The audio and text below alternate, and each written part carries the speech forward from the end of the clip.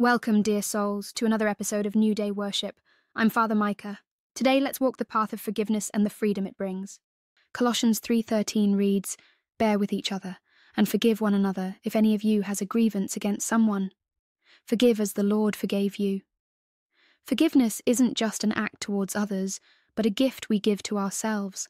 By forgiving, we build bridges, not just with others, but within our hearts. Your tales of forgiveness have been profoundly moving. Listen to these stories of reconciliation and the peace that follows. Let's embrace forgiveness and experience the true peace it imparts.